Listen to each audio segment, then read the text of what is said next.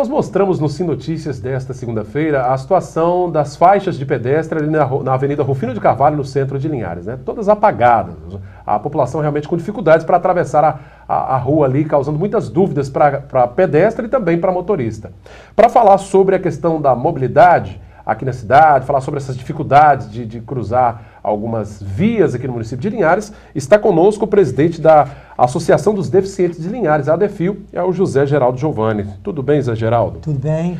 Bom, mais uma vez, conosco, essa falta de acessibilidade se repete em vários outros pontos aqui da cidade, não só na Rufino de Carvalho, né? É, exato. Desde que eles começaram o projeto de mobilidade aqui pela Getúlio Vargas, que nós é, demonstramos a nossa insatisfação por não atender né, é a questão da mobilidade para as pessoas com deficiência, principalmente aos cadeirantes, uhum. transferindo as faixas de pedestre das esquinas para o meio das calçadas, porque ali deixaram de fazer as rampas para que as pessoas com deficiência pudessem atravessar a rua com tranquilidade e ter acesso às calçadas. Uhum. Isso agora prosseguiu para a Rufino de Carvalho e continuou da mesma forma, né, sem as faixas e sem as rampas para que as pessoas com deficiência ou até mesmo a mulher com carrinho de bebê possa ter acesso ao outro lado da calçada e continuar seu trajeto Com segurança, né? Com, com segurança, exato. Agora, a Defil, ela costuma ser convidada para participar da elaboração desses projetos de, de revitalização, porque são importantes, né? A Getúlio Vargas melhorou para os carros, a Rufino de Cavalo também, agora para o pedestre parece que a situação está complicada. É, ficou difícil, né?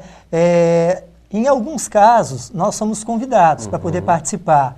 Mas dessa situação aí, nós não fomos convidados para poder participar, não. Uhum. Entendeu? A gente, assim, nós quando vimos, já estava sendo executado, nós, assim, comunicamos, né?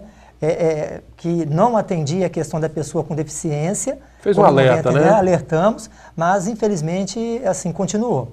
É porque eu imagino que já que se vai fazer uma revitalização de uma avenida tão importante, movimentada como a Getúlio Vargas, a Rufino de Carvalho e outras mais, aliás, há projetos para isso, seria importante já fazer o trabalho lá completo, né? Fazer completo. E, por um outro lado, a gente entende também que a retirada da, da, da, faixa de pedestre da esquina para o meio da quadra, ela traz um transtorno, tanto para o motorista quanto para o pedestre.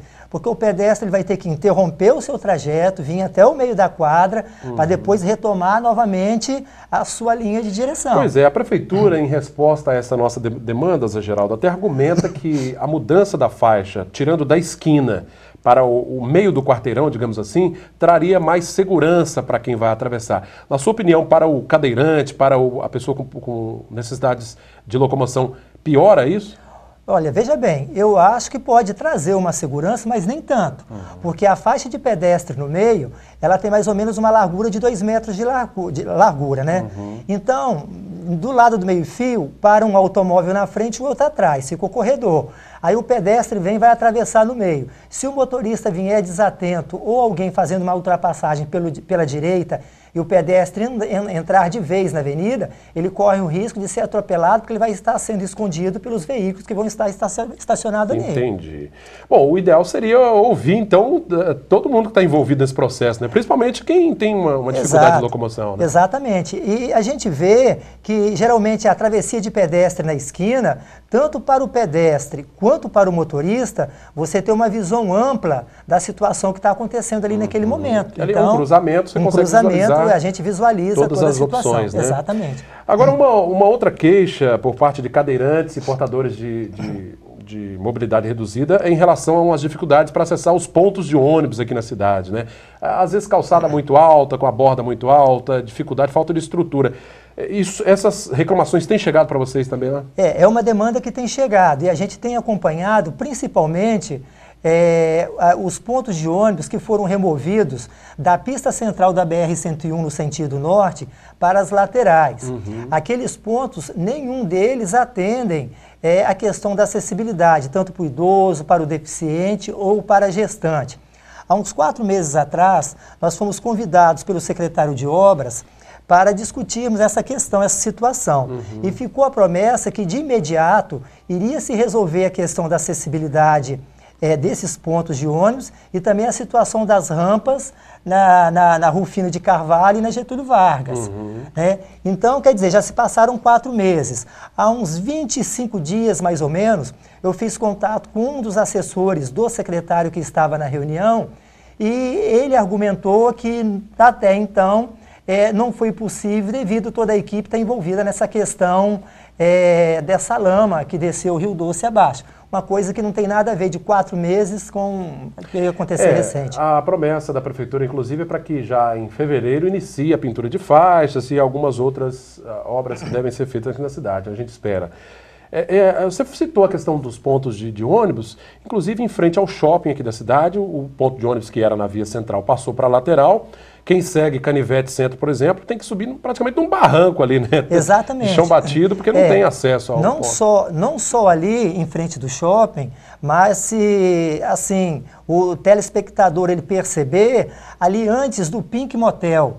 Aquele dali é mais perigoso ainda. Uhum. Ele está em cima de um barranco, aí corre o risco da pessoa escorregar e cair e debaixo do ônibus ou de qualquer veículo. Exatamente. De foi é, né? isso foi mostrado para o secretário.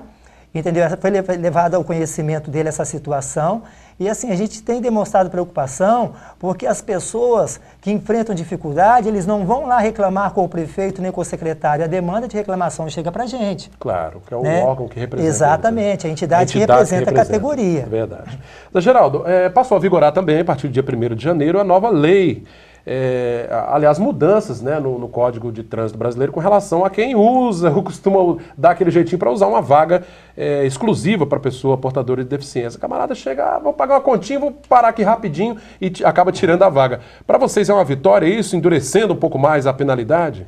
É, é, assim, lamentável, né? É, é lamentável Tem que que, chegar a tem esse que ponto, chegar a né? esse ponto. É. Porque eu acho que tudo deve de, de acontecer como os como nó- com nós brasileiros, uma questão de mudança de cultura, de hábitos, Naturalmente, de costume, né? naturalmente. Então, de respeitar o direito do cidadão e tudo mais. Então, a partir do dia 1 começou a vigorar o Estatuto da Pessoa com Deficiência. E em um dos seus dispositivos, o Estatuto altera o, o Código Nacional de Trânsito. Uhum. Então, elevou o valor da multa, acho que é para 127 É, reais. 127 reais. Endureceu, põe 5 pontos na Isso, carteira. e cinco né? pontos na carteira.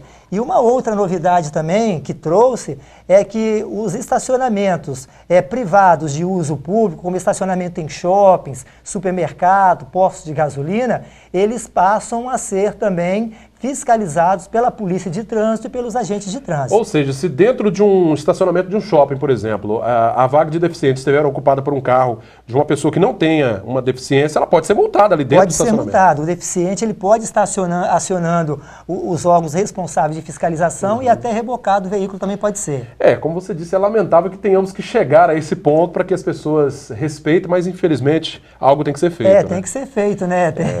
Para poder Esperamos que- fazer valer o direito de cada um. de cada né? um, e não só dos deficientes, né, os idosos e- e, outras categorias mais.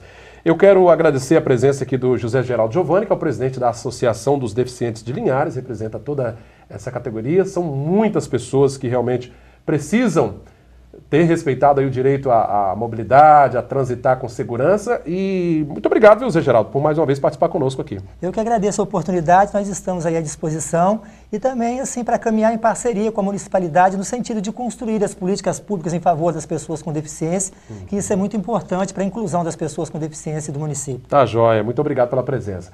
Minha gente, esta edição do Sinotícias está terminando. Você, claro, pode contribuir com o nosso telejornal. Envie sugestões de reportagens para o e-mail que aparece no seu televisor, pautalinhares.redesim.com.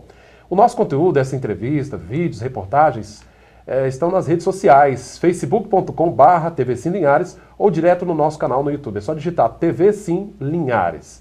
Bom, esta edição do Sinotícias está terminando. Você também pode eh, enviar sua sugestão para o nosso telefone 3373-2000 que aparece aí no seu televisor. Obrigado pela audiência, hein? Até a próxima edição. Sim Notícias, Linhares se vê aqui.